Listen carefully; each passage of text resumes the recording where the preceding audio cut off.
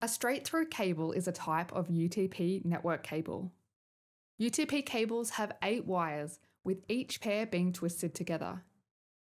At each end, the wire terminates at pins in an 8P8C connector.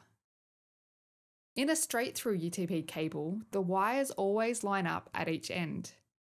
That is, pin 1 at one end will always line up with pin 1 at the other end. Pin 2 connects to pin 2, and so on. Traditionally, straight through cables were used to connect devices like workstations, printers, and routers to a switch. An alternative to a straight through UTP cable is the crossover cable.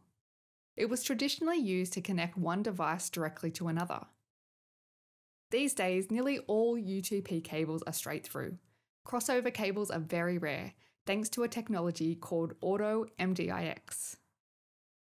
If you found this explanation useful, please leave a like so others can find it. If you want to learn more, check out the links in the description.